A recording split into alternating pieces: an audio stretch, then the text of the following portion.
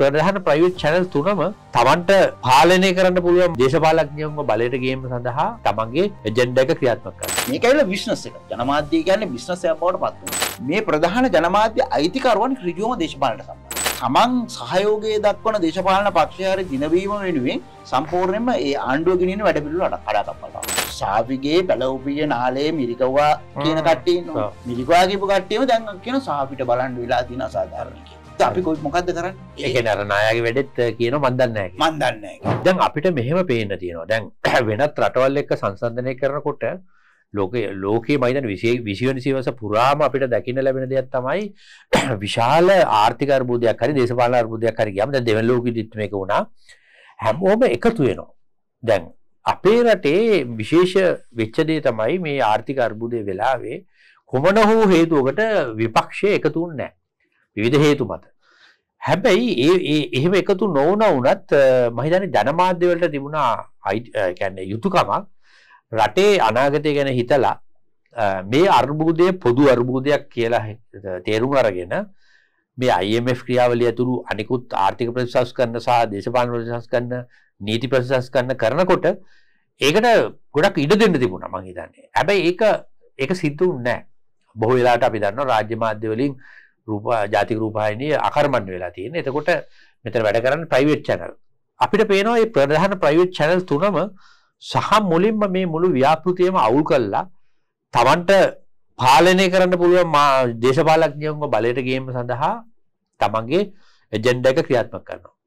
මේ ගැන මොකක්ද ඇත්තර මේ මචන් මරු කාරණයක් ගෙනාවේ මොකද මේ අපි ගත්තොත් දැන් අපි දැන් අපි අපි කොටනකු ප්‍රවාදයක් තමයි මේ ලංකාවේ අවුරුදු තිහක් තිස්සේ මේ ගවනන්ස් ගවන්මන්ට ගෙන්න්න එන්න ලොකුවෙනවා බයි ගවනන්ස් කියන එක එන්න එන්න අඩුවෙනවා හරි.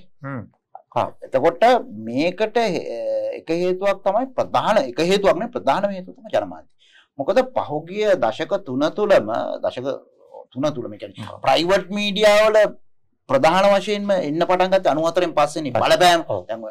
ශාන් වික්‍රමසිගේ චනදක තිබ මේ ටියනල විතර මට මතක හිට ප්‍රයිවට් චනල තර අනිතිකද මුද්‍රිත මාත හැබ ජනහට කියල ප්‍රසිද්ධ ජනප්‍රිය වැඩසටන ගියවට අනු ගනන්. ුලාග කොට අනු හතරෙන් පස්ස තමයි මේක විවෘත වනේ හැමෝට හැමෝටම. පුද්ගලික ජනමාධ්‍ය ප්‍රමාණ දැන්න යුටව පරම ති මෙතනදී මේ වගේ ඒත් එක්ක මේ ප්‍රයිවට් ඒවා ආවයින් පස්සේ උඩදේ තමයි මික රේටිංස් ප්‍රශ්නයකෙන් මේකයිල විශ්නස එක ජනමාධ්‍ය කියන්නේ බිස්නසයක් බවට පත් වුණා.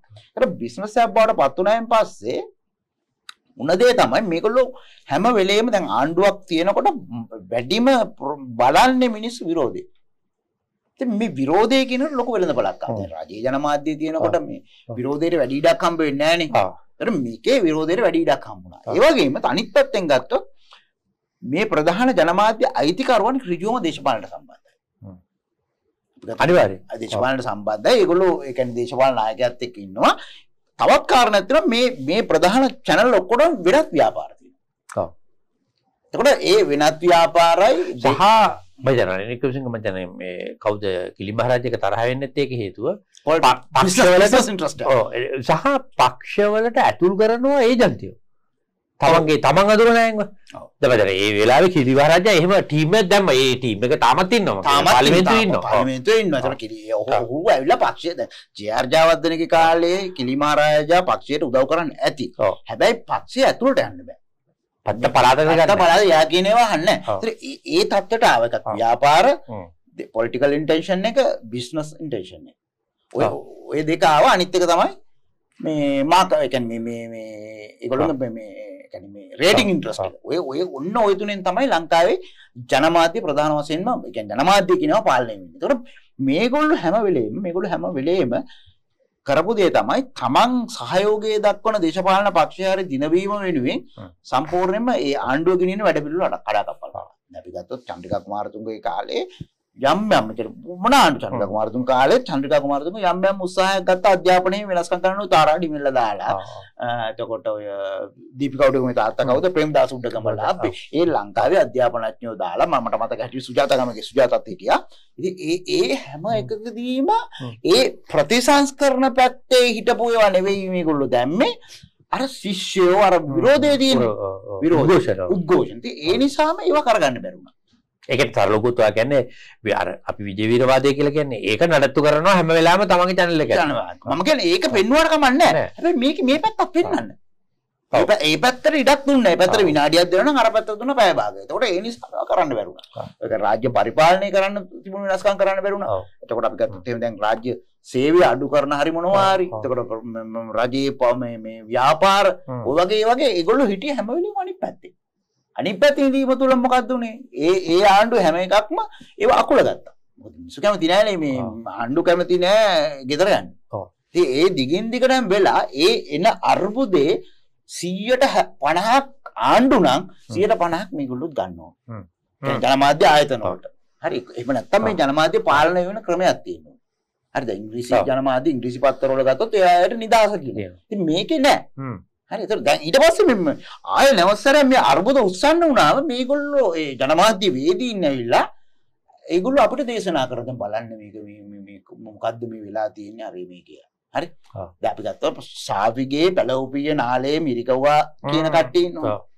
මිරිකවා කියපු කට්ටියම දැන් කියන සාපිට බලන්න වෙලා තියෙන අසාධාරණ කියලා. ඉතින් අපි කොයි මොකද්ද කරන්නේ? හරි? ඔව්. ඉතින් ඒ- ඒ- ඒ කියන්නේ අර නායාගේ වැඩෙත් මන් දන්නේ. මන් දන්නේ නැහැ කියලා. අනාගතයට නම් කමන්නේ නැහැ මිනිහුට හානියක් නැහැ නේ. ඔව්. දැන් අර සාෆිගේ මම මම දන්නවා ඒ පවුලේ ඒගොල්ලෝ ලා- ඉන්න බැරුණා. හ්ම්. ඒ ගෑනු දරුවෙක් ගෑනු දරුවෝ දෙන්නෙක් ඉන්නේ ඒගොල්ලෝ ගිහිල්ලා මඩ කලපුවේ ගිහිල්ලා එහෙම ඉඳලා ඒ ළමයි මඩ කලපු ඉස්කෝලේකට ගිහිල්ලා මේ ඒ විභාග ඉතාමියලින් සමත් වුණා මේ ඒ- පවුලක් විදිහටත් ඒ ප්‍රජාවක් විදිහට අපහසුතාවයට පත් වුණා. ඒතකොට ඒකේ වගකීම ජනමාධ්‍ය ගන්න එපා. ඒ දඩයක් ගහන්න ඕනේ. දඩයක් ගහන්න. ආ. හරි ඕ- ඕක තමයි මේ ජනමාධ්‍ය විසින් කියන්නේ මේ තියෙන ඒගොල්ලොන්ගේ ව්‍යාපාරික අභිෂ අභිලාෂ ආ. සහ දේශපාලන අභිලාෂ. ඒ ඒවත් එක්ක තමයි සම්පූර්ණ වැඩ කරලා තියෙන්නේ. හරි දැන් ඕක තව පොඩ්ඩක් දි- දි- මොකද සමාජ මාධ්‍ය පැත්තට ගත්තත්. ඔව්. සමාජ මාධ්‍ය පැත්තේ ගත්තත් ඒ ඒ සමාජ මාධ්‍යම ටියුෂන් ගුරුවරු ගොඩාක් අපිට උගන්වනවානේ. දැන් ඔය අර තිස්ස ජනනායක කියලා ගුරුවරයෙක් ඉන්නවා. ඒ ගුරුවරයා තමයි කිව්වේ මේ අර සාෆිගේ මේ පැලවුපිය නාලේ මිරිකන එක. හ්ම්. හරි. එයා ඒ ටක්කටම කිව්වා. හරි දැන් මොකක්ද වෙලා මොකක්ද උනේ මේ- ඒ පවුලට.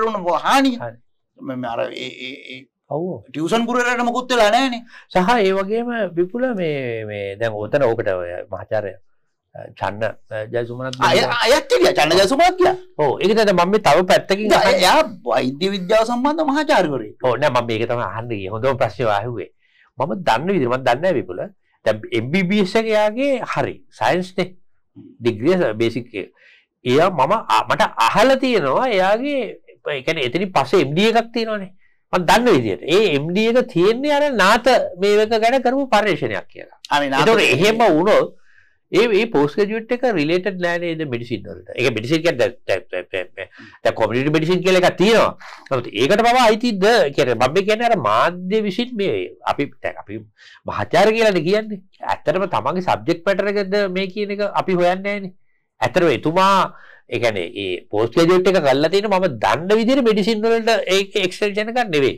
ඒක සෝෂල් සයන්ස් පැත්තට බලන්න. පුළුවන් පෝස්ට් ග්‍රැජුවේට් කරන්න මොකක් හරි පුළුවන්කමක් ඇති. ඒ පුළුවන්. ඒක- පිළිගන්නවා නම් ඒක ඒක කිසි විවාදයක් නෑ. ඔව්. නමුත් ඔහු පෙනී හිටින්නේ මාධ්‍යවල ඔව් වෛද්‍ය වෛද්‍යවරයෙක්. අනේ අන්න- දැන්- අන්න ඒකයි ඒ හරි භයානකයි දැන් නේ? අපි මල් ඊරවංශ පැල උපයනාලේ මිරිකනවා කියන එක අපි එකයි. ගන්න නෑ නේද කොට? දන්නේ නැහැ නේද ඔව්. මෙයා කියන්නේ අර මේ මහාචාර්ය වෛද්‍ය විද්‍යාව පිළිබඳ මහාචාර්ය කියන ඒ ධාරිතාවය. අන්න ඒක මම ඒක හරි භයානකයි. ඉතින් ඒකේ මුන් ඩැමේජ් අපි දැක්කනේ. ලොකු ඩැමේජ්යක් උඩ ඩැමේජ් එක දැන් නම් මිනිහා මං හිතන්නේ කලිසම් අඳින්නෙත් නැත් සරන් අඳින්නේ. සරන් ඇඳලා තමයි නිකන් අර මේ මේ මේ ඔක්කොම වැරදුනා. වැරදුනා. දැන් පව්වර දැන් රතනාම්දුරුව දුන්න ලණුවක් රාජපක්ෂලා අවුරුදු 70ක් ඉන්නවා කියලා. ඉතින් ඇත්තටම වැරදීමක් උනේ නේද? කියන්නේ ස්වභාව ධර්මෙත් ඇවිල්ලා අර මේ වෙලාව වැරදුවා. ඉතින් මේ මිනිස්සු ඇත්තටම 70ක් ඉන්න ලෑාවේ. ඔව් වැරදීමක් වෙලා. නේ? විශ්වවිද්‍යාලයෙන් අයින් වෙලා නේද? ඔව් ඒකනේ.